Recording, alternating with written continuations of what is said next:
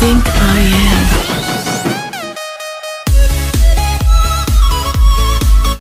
shop xuân tv.com nơi bán nick liên quân free fire uy tín giá rẻ chất lượng. Đặc biệt nhân dịp khai trương thì shop giảm giá 40% cho 1.000 bạn đầu tiên mua nick. Thì đây là shop chính chủ của kênh UTS một kênh rất lớn trong liên quân Việt Nam.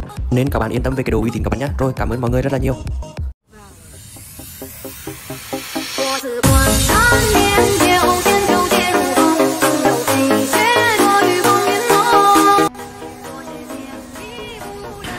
Hey yo, xin chào mừng tất cả các bạn được quay lại với channel của mình. Mình là Tom Zena các bạn nhé. Và hôm nay thì à, mình muốn giới thiệu cho các bạn hai cái chủ đề ở trong video này. À, Và trước khi bắt đầu video thì mình xin chúc tất cả các bạn có một ngày mới thật là vui vẻ và hạnh phúc bên gia đình và người thân của mình các bạn nhé.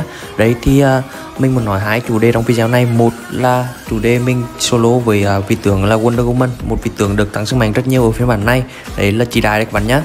Đấy thì uh, mình là một vị tướng Zena bị nép sức mạnh rất là nhiều ở phiên bản này và đối đầu một vị tướng được tăng sức mạnh rất nhiều để có là chỉ đại nữa đi thì các bạn sẽ chơi như thế nào? Và vị tướng này cũng có nhiều người là muốn uh, mình solo đối đầu rồi thì hôm nay mình sẽ là ra video hướng dẫn luôn.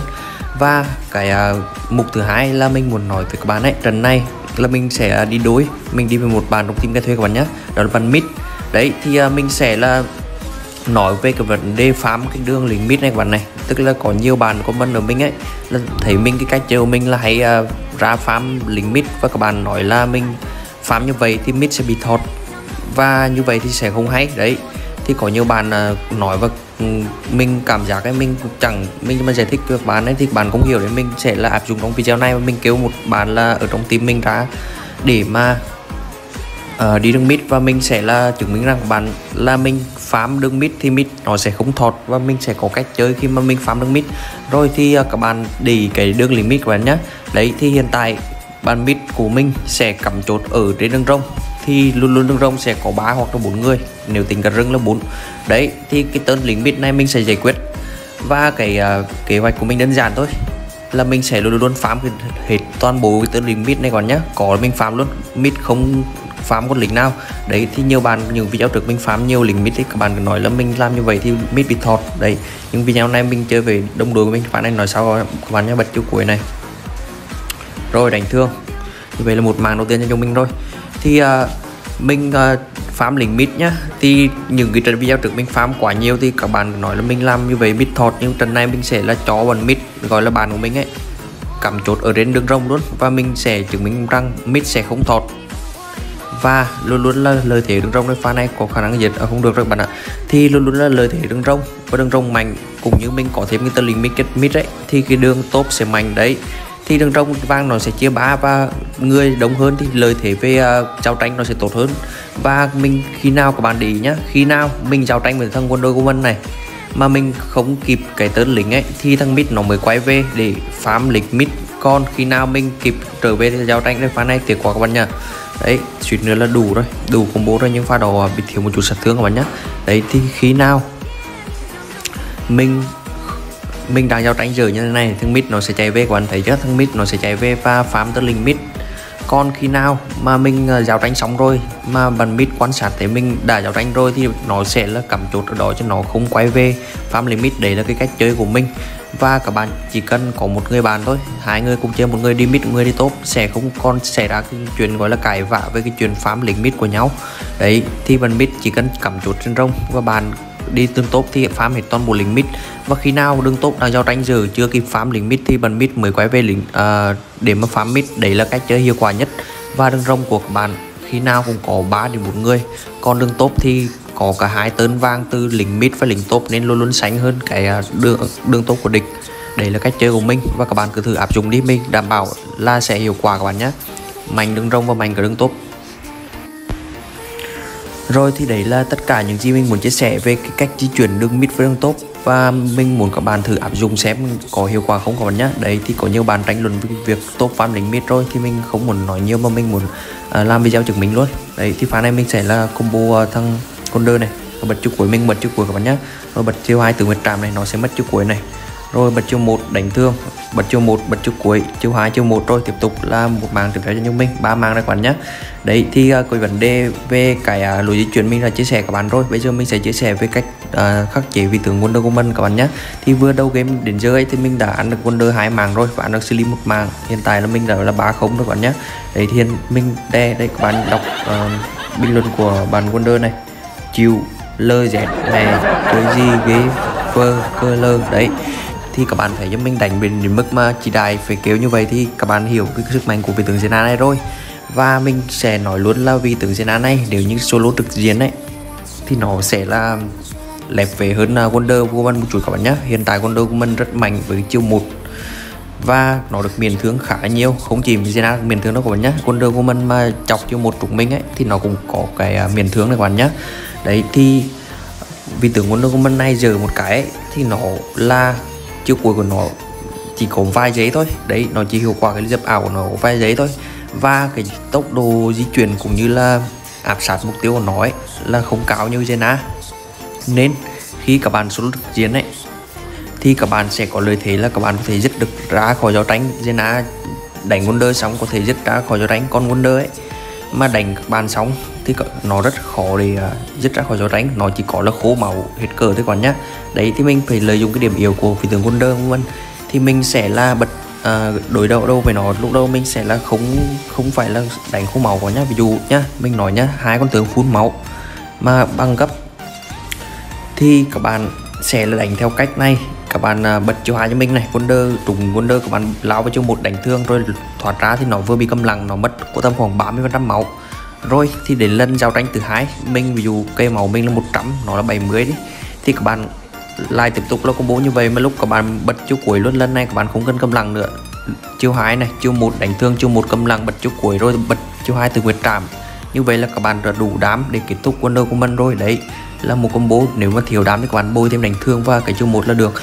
Đấy, thì đấy là cách đơn giản nhất trước khi các bạn muốn kết thúc Wonder Woman thì các bạn chỉ có cách là uh, cầu máu nó trước tầm khoảng một combo một combo nửa thôi là các bạn cầu được 30% máu rồi đến combo tiếp theo các bạn uh, dùng hết toàn bộ combo toàn diện luôn các bạn nhé đấy là cả từ nguyệt trảm và các kiểu uh, con ra đều luôn. Đấy thì các bạn sẽ là kết thúc phi tướng Wonder này.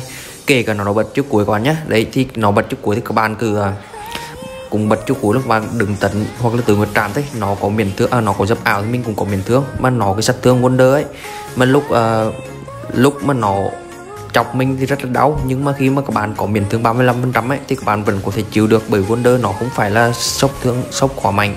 Nó là một vị tướng vừa chống chịu, vừa là sát thương. Đấy, nên các bạn đi hiểu rõ các bạn nhé đấy, nó chỉ là hơn, nhỉnh hơn mình một chút đó. Các bạn thấy chiếc cuối nó trả để làm gì cả.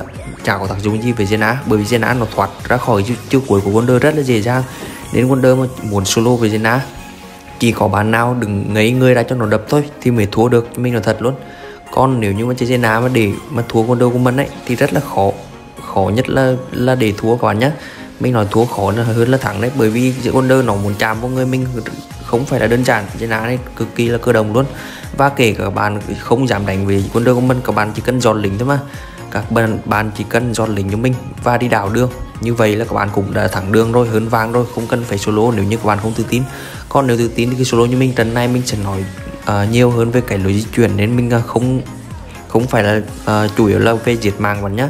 Đấy thì cái lối di chuyển của mình mình đã nói đâu rồi là các bạn kết hợp với bắn mít cho mít cắm chốt đấy là một trong số nhiều cách di chuyển đấy nhá. Đấy là mình đang nói về cái chuyện là phạm uh, lối di chuyển là uh, một mình đừng người người đi top mà quản lý cả nửa đường uh, bên top này và đường mid này. Còn lại bốn người bên team mình thì ở bên đường rồng hết toàn bộ. Đấy là cái cách chơi 41 các bạn nhé đấy thì luôn luôn là 41 tức là một mình một ngựa. Còn lại bốn người kia là đi chung với nhau. Thì đây là cách uh, di chuyển uh, gọi là một một đấy à một bốn đấy. Thì nó cũng rất hiệu quả khi mà mình uh, đi đơn nhưng mà có nhiều bạn đi mít chẳng hiểu gì cứ nghĩ mình phám thám này đủ kiểu đấy cứ thấy mình chạy ra mít thì đáng đi gánh thì gánh gánh luôn đi. Đấy đáng đi gánh thì thấy mình chạy ra mít à, để mà phám lính lên sốt ruột chạy về cuối cùng là à, vừa mất thời gian này vừa mất cái lối di chuyển này. Đấy mà cuối cùng lính thì cùng cuối cùng vẫn bị chia trong khi các bạn ở luôn đường rong giống như bạn Asian cả trận này ấy, ở thẳng luôn rong để mà gánh thì chẳng phải là hơn người không? Đấy, cuối cùng là chạy về vì tiệc tớ lính mít cho bàn tốt, cuối cùng lại là chạy về để mà cố phạm cho được. Mình cũng chịu luôn. Có nhiều bạn đi mít rất là tham lính nên là trận này mình mới bố trí bằng Azenka cầm chuột ở mid các bạn nhé đấy, thì các bạn thấy đầu game giờ ấy, cái đoàn sẽ đoạn đầu ấy? Các bạn thấy Azenka không hề cần đến tới một tớ lính mid nào trừ khi mình đang giao tranh giờ chưa thể nào là lên à, để mà farm lính mid được thì nó mới quay về để mà ăn lính mid còn lại nó thấy mình mà được xong giao tranh rồi thì nó sẽ là để nguyên tấn lính mid và nó sẽ cắm chuột rừng trong đây các bạn thấy những người đi mid chân chính là như vậy nên là mình muốn qua video này. Nếu như bạn nào mà đi mid ấy thì uh, sẽ thông cảm với những bạn đi top một chút. Thì nếu như thấy đường top đã là chạy lại ăn tên lính mid rồi thì các bạn ở lên trên đường rông mà gánh luôn mà ăn rông luôn. Đấy và chia kinh nghiệm chung với người, những người đi đường rông luôn. Thì đó là các bạn hơn người và đường rông mạnh. Thì đường top sẽ có hai tên lính đường top của mạnh. Đấy thì các bạn chỉ lộ hơn một chút chút vàng thôi nhưng mà cái thể trận nó thay đổi thì trận đấu nó sẽ dễ dàng hơn rất là nhiều. Nên mình uh, khuyên chân thành những bạn nào chuyên đi đường mid ấy sẽ hiểu cho những bạn đi đường top các bạn nhé chứ đừng có cãi nhau về việc may phám lính mid của tao đây. Nói chung là tao AFK luôn đủ kiểu mình gặp rất là nhiều rồi.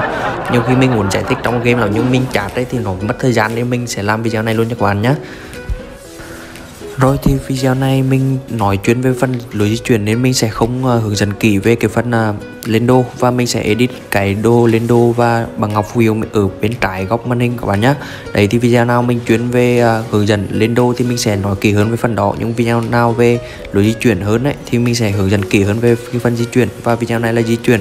Đấy thì uh, nếu như các bạn thấy video mình hay và có ý nghĩa ấy, giúp các bạn leo rank hiệu quả ấy, thì uh, đừng quên để lại cho mình một nút like cũng như đăng ký kênh để ủng hộ kênh mình ngày càng phát triển hơn các bạn nhé và mình cảm ơn các bạn đã bỏ thời gian quý báu của mình để xem hết video và hẹn gặp lại các bạn ở những video tiếp theo các bạn nhé. Mày yêu các bạn rất là nhiều.